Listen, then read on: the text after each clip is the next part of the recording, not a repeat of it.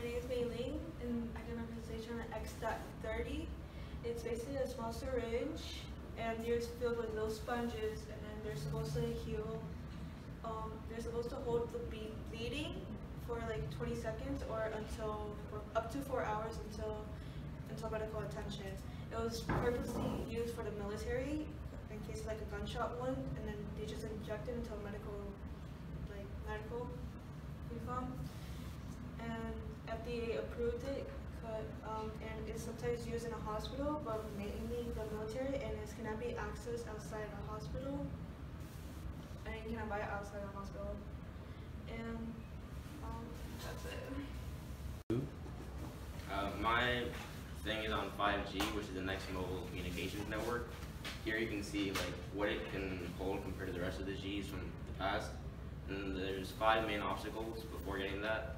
And by 2023, there should be like a billion people on the 5G network. So the five main things are millimeter waves, which is right now all the technology are in three to six uh, gigahertz.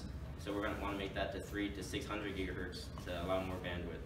And the second thing is small cell, which is that trees block these larger millimeter waves so that we need more posts so that if we send it there, they can send it to more people like around trees and stuff.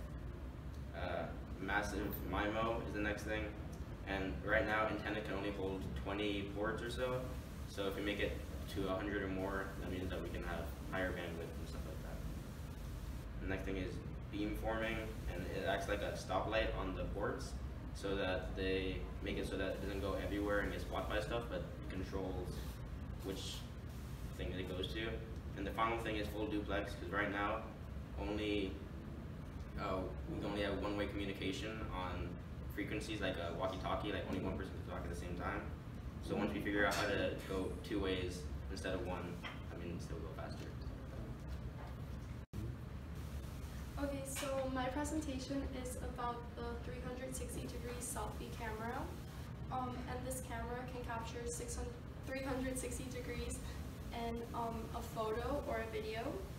And pictures and videos give an illusion of physically being there in that place because they show all 360 degrees. Um, they're used for a variety of reasons now, and um, they're used to capture now current events. Journalists use them for that because they give like a sense of physically being there. They're used um, to record surgeries to teach students about um, the different like methods and process used in surgery, and they're also used for athletes to analyze like their games. And it's been shown like coaches have found that it helps athletes play better. And um, they're becoming very popular because they're inexpensive compared to most cameras. And everyone is like mesmerized by this whole idea of showing 360 degrees in one photo or video. And the 360 degrees are possible of being captured because of the different algorithms used. That's it. So cryptocurrencies are decentralized, heavily encrypted currencies that are really popular and in high demand right now. And with these currencies, there are two main ways of obtaining them. Uh, the first way that is most popular with really big cryptocurrencies like Bitcoin and Ethereum are is the an idea called the proof of work system, where a user will basically solve a really complex equation or problem and they'll be rewarded with kind of data. And this data is easily, then easily verified afterwards, and it's very easy, easy to transfer back and forth. Uh, the, the second most, mm, the more popular way that's coming up right now is called the proof of stake system, where a person will invest a certain amount or have a certain stake in a cryptocurrency, and the more they have of that, the more they will be able to create. So if they'll be able to have, if they have 5% in a cryptocurrency, they'll be able to create more of the stake than somebody that has 0.001% of it. And a very popular uh, cryptocurrency that's trying to use this method is called Tezos. And within a month of it being crowdfunded, it raised $232 million in its stake and yeah, that's one of the cryptocurrencies that's really coming up with a proof of stake system. Hi, my name is Benjamin, and my project is on this. This is called an AED, an AED drone, or a defibrillator drone. And what it does is it will send from a specific dispatch point, it will fly to the location of a 911 call using GPS and will deliver um, an AED, which is used to restart someone's heart, and it's very useful for saving someone's life if they're suffering from cardiac arrest because uh, when you suffer from cardiac arrest, it's basically the start, the, the heart stops pumping blood and you can die within minutes. So there needs to be a faster way to get an AED to someone other than an ambulance. And this drone is on average about 16 minutes faster, which greatly improves the, the, the chance that the person suffering from cardiac arrest will survive. And this drone came from the partnership between a drone startup company called Flirtey and REMSA, which is Regional Emergency Medical uh, Services, and they cover an area in Nevada. And they're they both uh, made a partnership so that they can try to start using those in real life in public. And they already have prototypes, and there have already been test runs done uh, in Sweden in 2016, and they were successful. And so um, that means that soon you can start seeing uh, drones delivering AEDs and saving people's lives.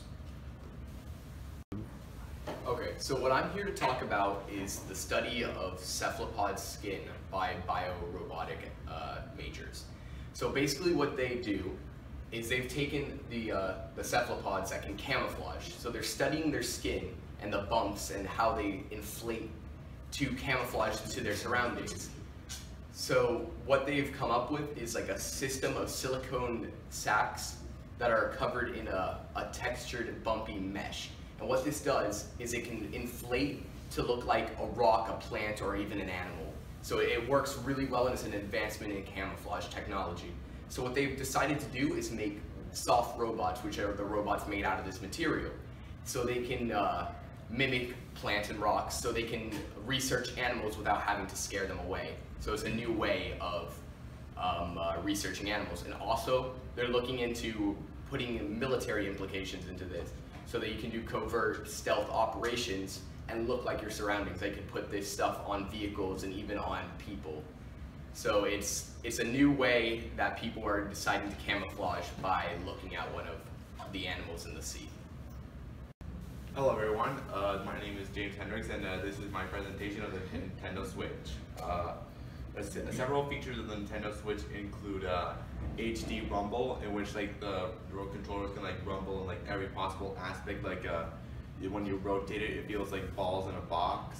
And uh, also the, it shows like a lot a lot new, more ways to play multiplayer. Like as soon as like you plug in the Nintendo Switch to the docking station, it, it appears on the TV instantly, like Apple TV, but except with it's a whole lot simpler.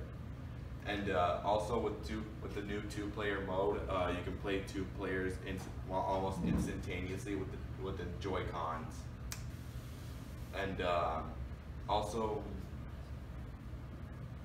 oh yeah, if, if you want to play single player, then uh, you can just take the take the Joy Cons and, and plug them into that little uh, into that little controller, so you can play it as if it was an Xbox controller, or you can just just get a Pro controller.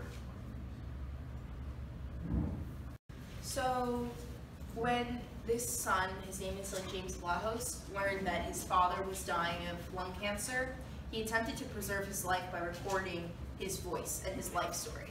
He winds up transcribing his life story and he has this binder full of information about his father's life and he doesn't know what to do with it. So he basically uses the technology that like actually Mattel is using to create um, an artificially intelligent Barbie that people can talk to, right? And he creates a chatbot about his father's personality. And he basically uses all this data to um, simulate his father, and he's doing this all right before his father dies. And so in doing so, he learns a little bit more about himself, about his father, um, just simply about what it takes in order to create an AI and how to make sure that it reflects, at least in his case, the father and not his internal biases and how he sees his father, right? And he basically he tests it with his family, and it actually winds up being pretty close to life, which is pretty, well, a little bit insane. But um, he does this, he uploads it to Facebook Messenger, and basically he he's able to text it, which is that's the bot of his father. So he inputs all these different um, kind of like reactions to questions that people might send. Like, this is your eldest son, Jamie. So it's like, oh, you created me. How are you? So that's very interesting. Um, but just creating the chatbot has very has a lot of implications as far as um, recording people's lives. So he created this for his father, but this can be used to record the lives of living legends, right? So like maybe we can wind up with like a Beyonce bot that will like wind up having all of um, her her life history, her reasons for doing certain things, and her personality.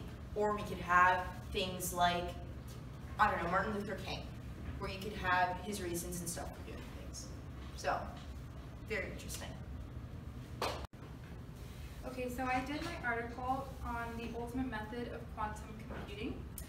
Within that article, they explain like the difference between traditional computing and like quantum computing. So traditional binary bits we are familiar with, and they're like the zeros and ones that combine to make patterns, and from there we store data and execute info. So this is very limited because one pattern can be read at a time, so quantum computing can kind of like eliminate that and um, it's more efficient with processing data. So a quantum computer uh, is based off of the quantum theory. So this deals with the polarization of sub uh, subatomic particles and their behavior to increase data processing. So uh, quantum computers use qubits instead of bits, and these are the zeros and ones as well, but they have different like um, properties um, you can use superposition and um, entanglement. Superposition essentially is the zeros and ones in different proportions of state. So instead of being just like a set zero and a set one, like it can be both at one time, which helps like the efficiency of the process. And entanglement is like one qubit. Okay, do I continue? My article is on uh, Kalashnikov, the, the number one weapons manufacturing in Russia. They developed the Kalashnikov, the AK-47. Uh, they developed the hover bike, which is an electric powered uh, rotor powered hover bike that uh, can carry one soldier and cargo, which is important because this hover bike allows them to get into hard, harder to reach areas and this can help the everyday life. This innovation can help the everyday life by um, eventually making this as the mode of transportation.